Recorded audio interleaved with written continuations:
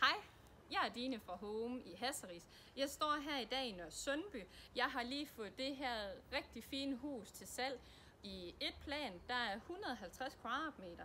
Der er fire værelser. Der er både badeværelse, gæstetoilet, køkken, alrum, stue. Og øh, så er der en dejlig lukket have og en garage på 28 kvadratmeter. Ejendommen kommer til salg til 2.195.000. Kunne det være noget for dig, så skal du skynde dig at ringe ned til mig i dag på 51 89 58 81. Hej!